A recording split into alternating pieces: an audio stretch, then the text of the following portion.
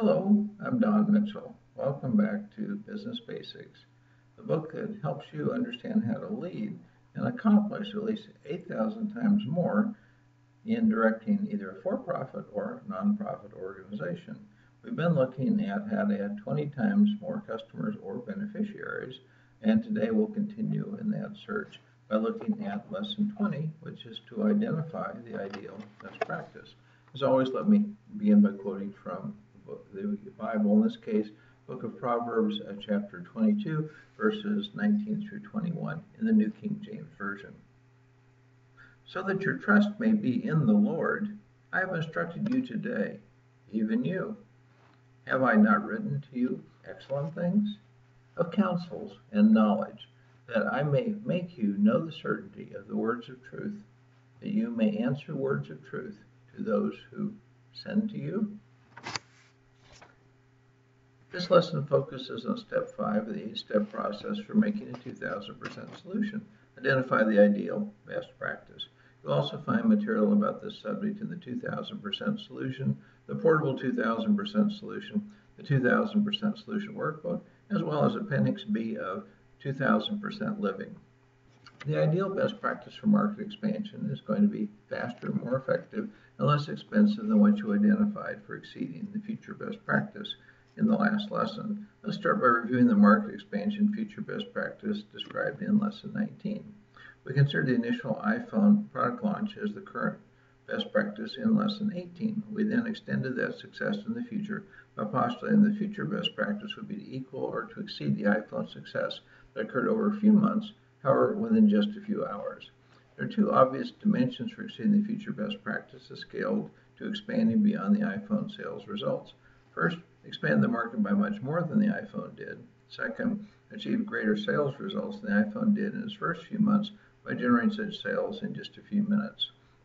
I advise you to continue considering past those two dimensions by adding several other potentially interesting dimensions, including possibly accomplishing the sales at much less expense, gaining greater profits than the iPhone did, using the industry expansion breakthrough as a platform uh, to soon thereafter create a second 20 times market expansion, expanding customer and user end user benefits so much that the overall financial abilities of people and organizations to afford your offerings are increased by several hundred percent. And seven, to extend substantial benefits to those who aren't stakeholders. That's enough review. Let's look now more broadly to see what the ideal best practice is for launching a multi-billion dollar market very rapidly. I draw on boosting sales of the Harry Potter books to sketch out key elements of the ideal best practice for industry expansion. Each of the J.K. Rowling's books about Harry Potter hit the book publishing, wholesale, and retail industries like a record breaking storm. Stores stayed open past midnight to host special launch parties.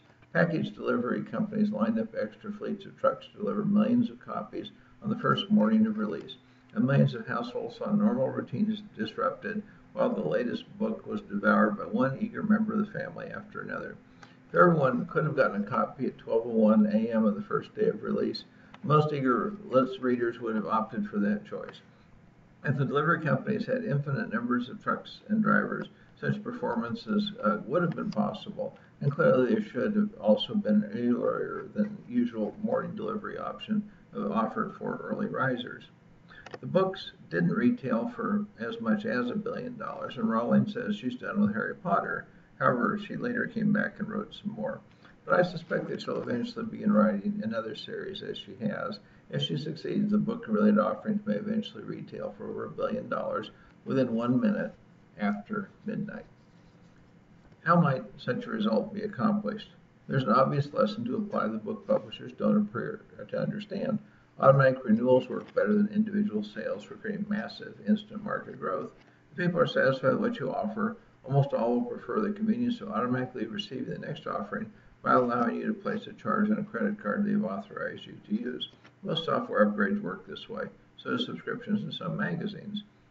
By offering automatic renewals, select that Harry Potter could have concentrated more sales in a briefer time period. But people don't just read about Harry Potter, they also buy Harry Potter costumes and clothing go to Harry Potter movies, and visit Harry Potter websites. What about tying in book renewals to package deals and include such other offerings? By bundling more elements together, you could sell more and make life easier for consumers.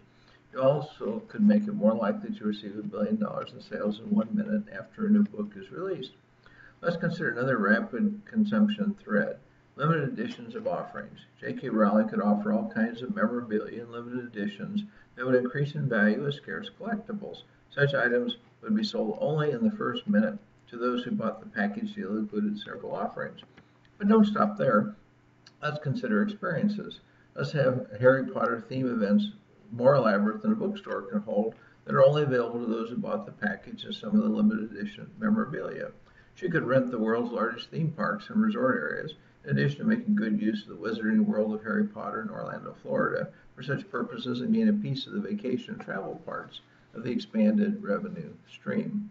There's also a big market for people who like to buy through eBay auctions. Rowling can put together lots of high value items related to her newest book and hold auctions, ending exactly at 12.01 a.m. on the morning of book release.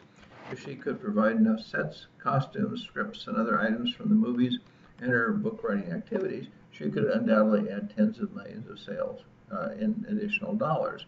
Rowling's intellectual property is very valuable as well. She could hold simultaneous auctions ending at 1201 to license any unlicensed intellectual property associated with a new book.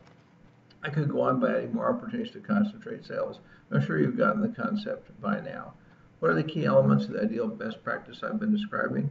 First, sell something new related to past successes such that almost every prior customer and user will want the new offering. Second, build a base of awareness and preference such that little expenditure is required to gain massive publicity. Third, maximize the attention excitement by cramming as much activity and opportunity into one minute as possible. Four, pre-sell through contracts or subscriptions. Five, bundle a bigger batch of offerings together that include items that most customers and users will eventually consider purchasing. Six, add scarcity appeal by providing limited editions only available at that moment. Seven, conduct auctions that end at the same moment for anything else you want to sell, for which there is a very limited supply and huge demand. Eight, provide experience-based services that are enhanced by the excitement of the one-minute event. Nine, create an event that everyone will want to talk about having participated in.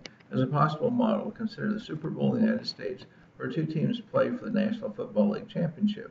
The average price paid for a seat in the stadium is probably over $4,000, and there are over 60,000 people present.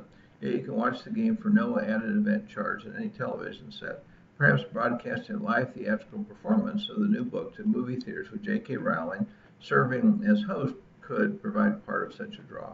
So, what are your assignments? There are three. First, other than my suggestions, how could a Harry Potter book launch have been made much more successful? Two, what other high-value methods of market expansion could be added to the list of key elements I have just described? And third, what are the key lessons for expanding your market? So I look forward to your ideas on these, and I look forward to reading about your success and applying them. And come back soon, and we'll talk about how to approach the future best practice in the next lesson. Take care for now. May God bless you, your family, and all you do in the name of Jesus in the meantime.